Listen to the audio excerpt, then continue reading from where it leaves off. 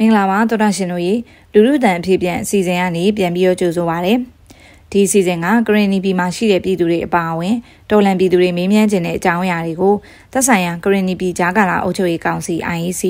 အမျိုးသားညီညွတ်ရေးအစိုးရ NUG နဲ့ဂရင်းနီတော်လန်ရေးအဖွဲ့အသီးသီးကတာဝန်ရှိတဲ့သူတွေကပြန်ပြီးတော့ဖြေကြားပေးတဲ့အစီအစဉ်ပဲဖြစ်ပါတယ်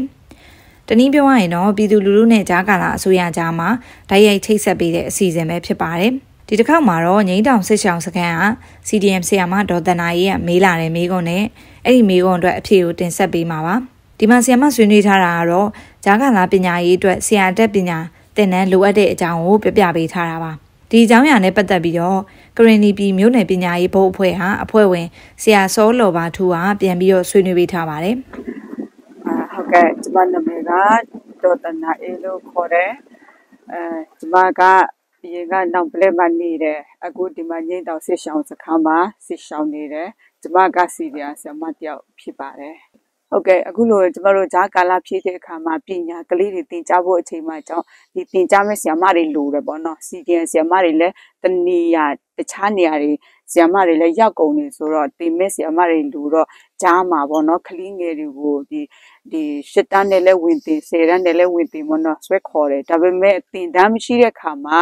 ကလေးတွေကဒီတင်ကြားရေးပိုင်းမှာအားနေတယ်ပေါ့အားနေတဲ့ခါကျတော့တင်ခံရတဲ့အတင်ခံရတဲ့ကလေးငယ်တွေကြတော့ရတင်ရထိုက်ရမယ့်အချိန်မှာရတင်တလောက်ပေါ့နော်မရသွားဘူးဒါကြောင့်မလို့အဲဘယ်လိုပြောမလဲဒီလိုကလေးတွေဝင်တင်တဲ့လူရှိခဲ့ရင်လည်းတင်တန်းမျိုးတွေပေါ့နော်သူတို့တွေလူအပ်မဲ့အရာတွေပေါ့နော်ဒီလိုမျိုးသူတို့ကိုကန့်တတ်ပေးတာပေါ့နော်တွန်လမ်းပြပေးတာဒါမျိုးတွေလိုအပ်မယ်လို့ကျွန်မထင်ပါတယ်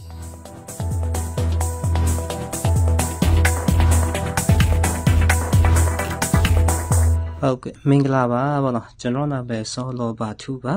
ဒီလက်ရှိမှာမြုံတဲ့ပညာရေးဘုတ်ရဲ့အဖွဲ့ဝင်တူအနေနဲ့ဖြစ်ပါတယ်ဗောနော်အဲ့တော့ဒီဆာမဖြစ်မိထားတဲ့ဒီဆာဆာမရဲ့လိုအပ်ချက်ဖြစ်နေတဲ့တင်တန်းကိစ္စနဲ့ပတ်သက်ပြီးတော့ဗောနော်ကျွန်တော်တို့ရဲ့မြုံတဲ့ပညာရေးဘုတ်အနေနဲ့ဒီနေ့မှာကျွန်တော်တို့တကြိမ် နှစ်ကြိမ်အဲအလုံးစုံတင်လောက်ပေါ့နော်ဒါဆောင်ရွက်လေးပဲရှိတယ်အဲ့တော့ကြောင်းပေါင်းလဲအဲတမြုပ်နယ်လုံးမှာ130ကျော် 150နီးပါးပေါ့နော်ပြီးတော့ဆက်ဆံမလည်း1400ဝန်းကျင်ရှိတယ်အဲတော့အရန်များတဲ့ခါကျတော့တင်တဲ့တစ်ခါတစ်ခါလောက်တော့ကျွန်တော်တို့ကတ်တဲ့ကတ်တဲ့တစ်ခုနဲ့ထားတာကတော့ဒီဒူဥယေ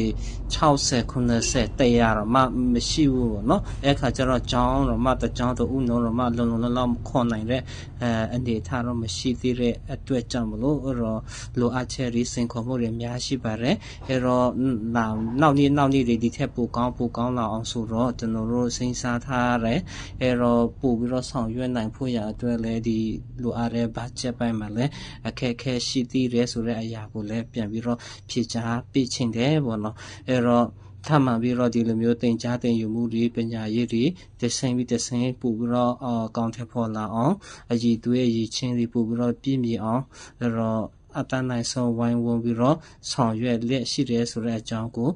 ပြန်ပြီးတော့ဖြည့်ချခြင်းပဲဖြစ်တယ်ပေါ့နော် thank you ပါ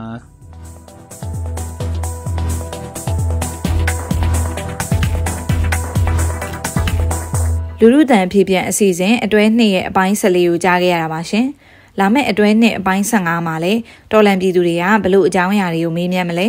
သက်ဆိုင်ရာတော်လန်ရေးအစုအဖွဲ့တွေကဘလို့ပြန်ပြီးတော့ဖြေကြားမလဲဆိုတာကိုစောင့်မျှော်နှားဆင်ကြရအောင်ပါရှင်။